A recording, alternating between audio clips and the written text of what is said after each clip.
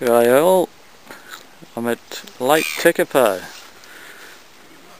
in New Zealand. This is the high bike I've got, Kawasaki KLR 650. I'll just um, come down and give you a bit of a look at the lake. It's pretty spectacular.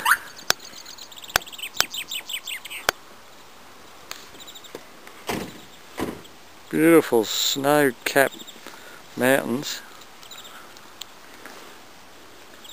Oh yeah, you gotta love that.